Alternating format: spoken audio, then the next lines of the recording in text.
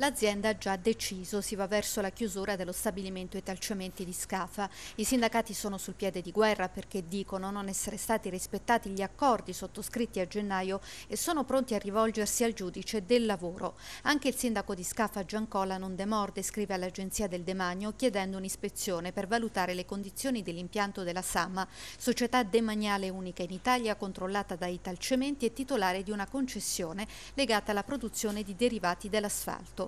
Il sindaco chiede la valutazione dello stato dei beni concessi ed un'indagine per verificare se la Sama, nel corso dei 30 anni di concessione, abbia o meno impoverito l'azienda pubblica riducendone le capacità produttive e commerciali.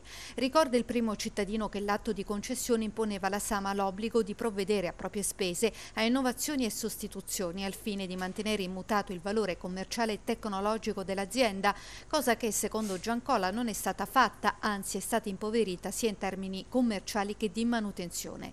Il primo cittadino incalza il danno arrecato dalla Sama al demanio ingente e chiede perché non siano state più prodotte le mattonelle di asfalto molto richieste dai mercati del sud.